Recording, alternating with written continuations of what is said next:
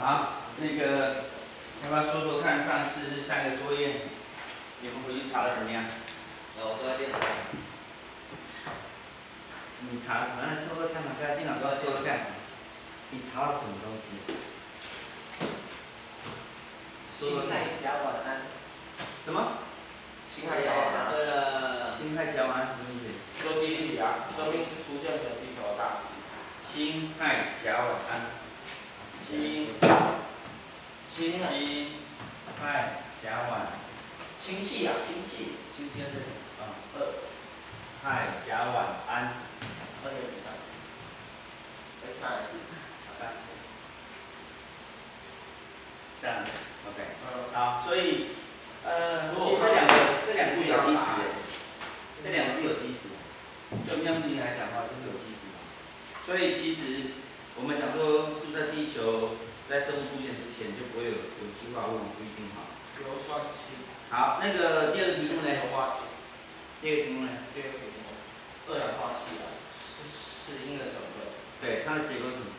啊？它结构长什么样？六角形。六芒星。六芒星。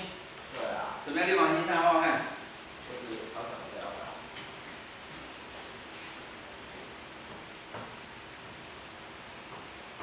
哦，可是它是这样子的。呃，它是这样。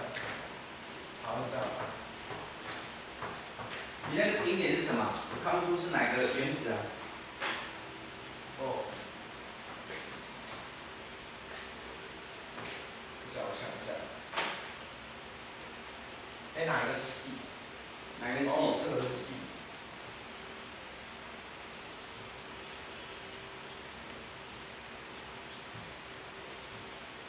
然后其他是点。应该了。二氧化锡。啊。嗯。就它这个平面的结构。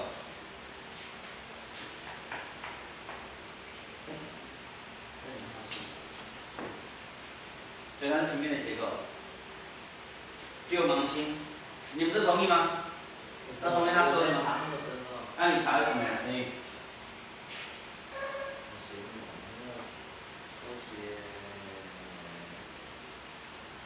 我那我查它原那个什么化学式啊。化学式什么？我忘了。啊？化学式什么忘了？查很久了，因为我刚上那个地方。OK。然后还有那个，对啊，它是它是六角形的。六角形的。它是这样，它是六角形的形状。OK。平的呢？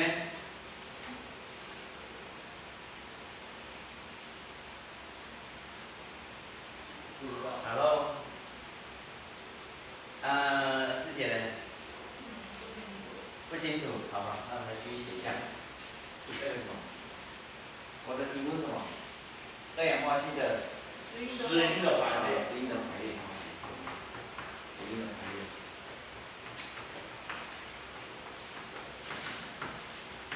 你们要查它结构哈，结构不是化学式哈，结构跟化学式关系有一定的关系。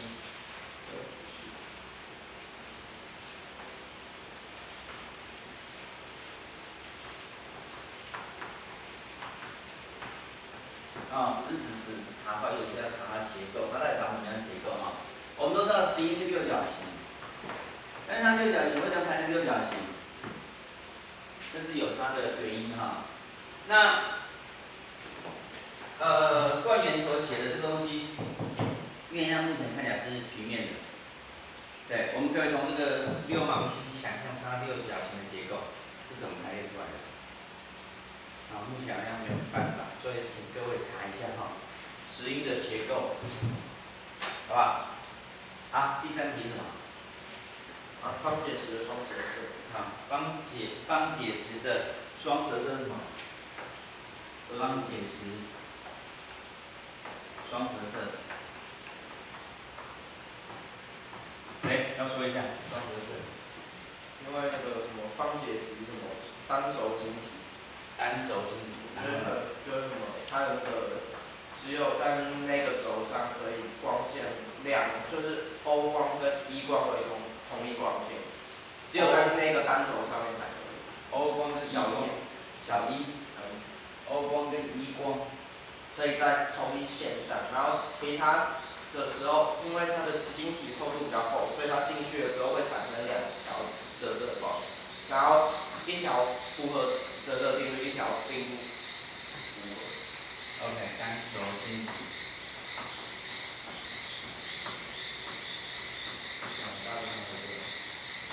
应该是这样，我查看它它是什么意义？他说的大致上都对，大家都对。好。大致上啊，只是讲跟其他不一对啊，样。那这个东西不过重点是那个啦，他是用这个方法去，算是这算测量吗？这算去了解那个矿物质它的成分，因为它会得到像它写一个是 O 一两条线，那一条是遵守那个折射定律，一手是不遵守折射定律，那他们会得到，而且他们的那个方向会是相反的，所以他们会得到一个角度。它那个角度就是那个矿物，它就可以从这个角度来得知那个矿物质它的成分是什么。应该是这样。所有的矿物质都有双折射吗？所有透明的光，所有透明的矿物质都双折射嘛？像石英它是矿物质，它有双折射现象嘛？都有双折射，只是它们并不是单轴，所以它们进入的时候就会变成同一条线。就是说它那是单折射、双折射。嗯，它是双，其实你光线进入的时候都是同一光，然后你进入单轴的时候，只要不是那条轴上，那它都会产生。然后其他的，然后可能会有很很多晶晶体是有很多条轴的，然后所以它射进去，只要是在这轴上就就没有双轴的。啊，你说很多晶体是很多条轴的，对啊，哪些晶体？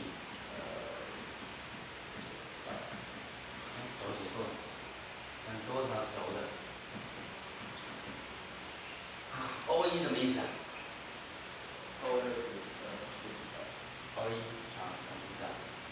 轴单轴跟双轴跟多轴，我们现在看到有单轴，哎，多轴，那个轴在哪里？就是两个顶点中间的一条线，哪两个顶点？然后它好像跑出来，然后 A 点跟 B 点这样子吧。OK，所以那 A 点跟 B 点是什么？方解石的那个好像是一个什么对角点的，因为方解石是一个长方形，嗯哼。然后它的对顶点会形成一条线。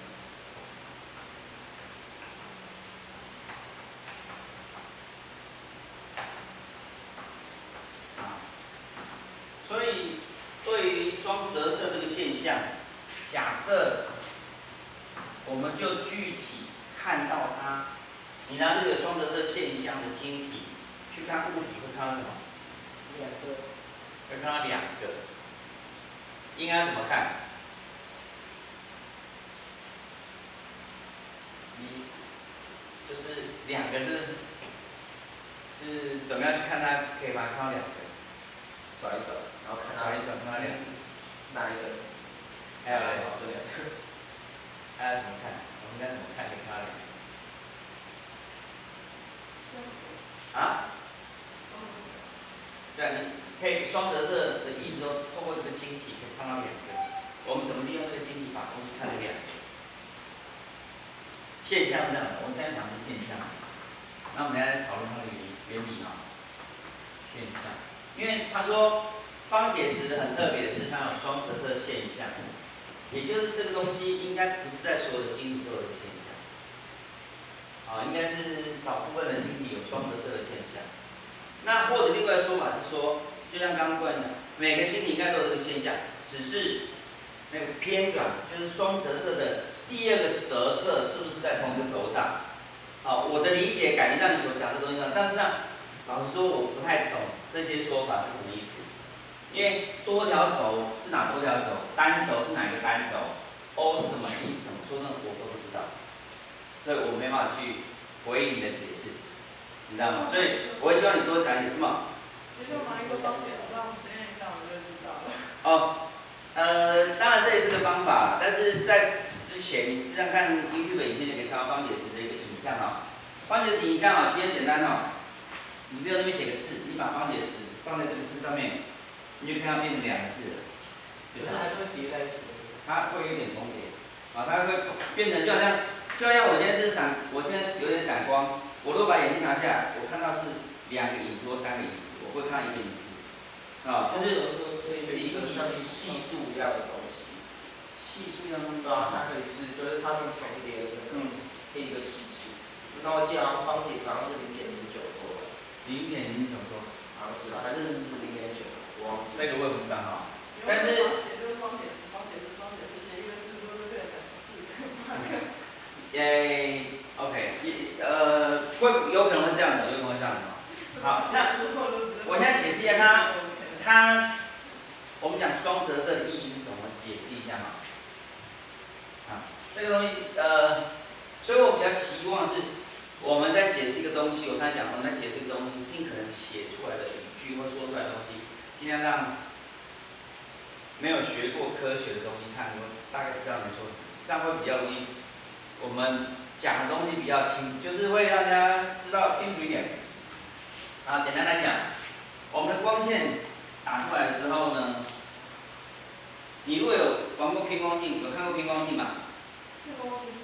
偏光镜就是像有些太阳影像用偏光镜设计的，它这边看到的跟这边看到，它有个绿，它有个闸门。它那个闸门，偏光镜的意思是，它那个镜子本身是有闸门的。有闸门的，所以光过去的时候呢，就叫滤波。它把所有这个方向的波全部滤掉，它出去的波全部挡掉。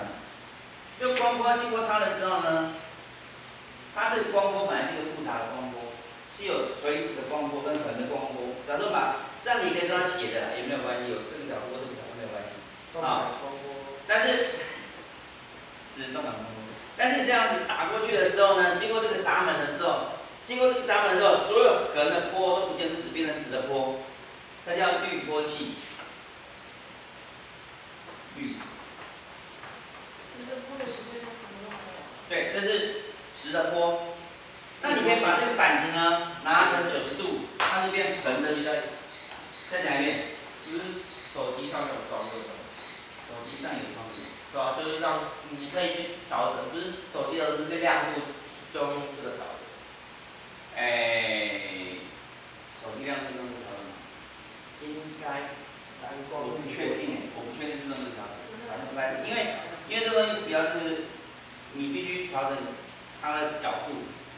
那手机基本上你们去没有它没有可以移动的东西去调它角度啊，啊，所以我不确定是不是啊，这我我我不了解手机运作原理，但是我不确定是。好，那横波的原理是横波的滤光镜，同样可以把光波变成横的。对不起，它可以把变成横的，意思是说。假设我把这两个镜片重叠，你经光线经过这两个镜片重叠的镜片会看到什么？什么都没有。就是看不见。就假如把一个镜片是直的滤波，我这样看没什么感觉，这是很正常。我把这滤波镜，这个这个叫做偏光镜，的话放成横的，我看到的东西也都没有差别。可是我把一个偏光镜横的、直的跟横的放在一起重叠的话，我看到的东西就是黑的，它看不到的，我它就透不了光。可是我把偏成一个小角度，我可以看到暗暗的。我如果把它变成重叠，就把这两个打成都是直的时候，我又可以看到光线。所以可以透过这个跟这个关系，可以简单示范一下，光线里面有一个垂直的波，它有互相垂直的波。那我们讲方解石的双折射现象怎么样？这个问题啊。哎，我刚刚想到了，你说光点它会不会就是你看到只会有一股光？哎，不是，因为你从一个光垂，会啊，你只要射到单轴上的时候，垂垂直，反正就是你从一个光，就是你看过去的话，就是从，呃，怎么讲？呃，从光线的侧面看，那你知道人家看不到那个光吗？从光线的侧面看，就是假如这是光线嘛，我去看我就看不到。我应该会看到另外一个光线出来，因为它有两条光线。不管不管你怎么，哎，你从光的这边看不到光，从光的这边看不到光。可是我不可能在光的这边，就像这个日光灯打光出来，我不可能到日光灯里面看光的出现啊。对，我会感觉到这个日光灯有打光出来，纯粹是因为它把光线打到所有的物体身上，它反射到我的眼睛，所以我感觉到我的物体有感受到一些东西的光。可是我知道最亮的是它，所以我的脑袋会告诉我说，这个光线是由日光灯打到这个物体才反射到眼睛，所以我觉得日光在发光，对不对？可是我如果在空中打一个镭射光往这个外面打的话，这空间中如果没有任何粉尘去反应、去反射这个这个灯呢这个光线的话，这镭射光的话，事实上你们看不到镭射光。除非你是人走到镭射光的这个地方，刚好眼睛被镭射光打到，你可以感觉哦，这边有个很强的光打到你眼睛，因为你感受到这个光的刺激，啊，这是应该是个现象。但是方解石不是这样，方解石是，我现在解释光有两个两个方向可以知道吧？有垂直方向的波跟横方向的波可以理解吗？方解石的现象是，当我光打过来之后呢，它对于我们一样画。它的那个法线还是法线，它对横向的波、横波向的波跟垂直波波呃垂直方向的波的折射率不一样，有概念吗？它折射率不一样，所以有些呢可能这样折射下来，另外一个垂直波可能是这样折射，所以在回到回到外面的时候呢，你就可以看到两条线，可以看到两个波长。啊，这两条是平行的哈，就跟它两波，因为它的折射率不一样，它折射率跟角度有关系嘛，啊，折射率跟角度有关系。OK，这是它的简单来讲是它的双折射现象这样。啊，所以它出来它会是平行的，因为所有的光线经过一个物质，它第一次折射，第二次折射，这条线一定跟这条线平行嘛，这有没有？是啊是啊是啊，因为它这是从从快到慢的时候，这是同一个介质嘛，从慢到快是另外一个结果啊，这是反相反的结果，相反结果，就是它这条线跟这条线是平行的。那对于假设这个东西代表横波哈，这代表垂直的重，不是重波，重波跟横波有不同意思啊。如果说讲，我如果写从横波重波的话。我们会理解成，有的波是这样动的，有的波是这样动的，啊，这样动的波叫做重波，这样动的波叫横波。可是我现在只是想，这个地方只想说明光有横的方向跟垂直的方向这样的概念哈，并不是说它都这两个波都是横波啦，啊都是横波，它是它不是疏密波，疏密波是重波嘛，它是疏密波都是横波，只是我先讲代表横的方向跟垂直方向。横的方向在方解时对光的横的方向有一个折射率，垂直方向的波有另外一个折射率，所以它有两个折射率。我们以横方向的波来讲的话，它入射的折射率出来到回到空气的这条线跟这条线平行，有问题。同样道理，垂直这个方向的波它有另外一个折射率，所以进来折射一次，再出去再折射第二次，这两条线平行，没问题。嗯对，没有问题。所以假设白白物体放在这里，我眼睛在这里的时候，我就看到是不是看到两个了？我就可以感觉到有两个物体，两个物体在这里。OK。所以这是方解石的双折射现象。我想解释有没有清楚一点？所以我有个问题说，比如他那个折射，应该说刚那个怪不是说，嗯，什么？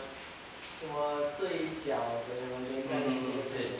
那我把他们的角全部都切掉了，就是把，比方你看现在这是一个正方形的，我把它所有的角都切掉，变成另外一个变成一个圆形，变成一个不同方向的正方形。OK。那他们那它就是什么折射？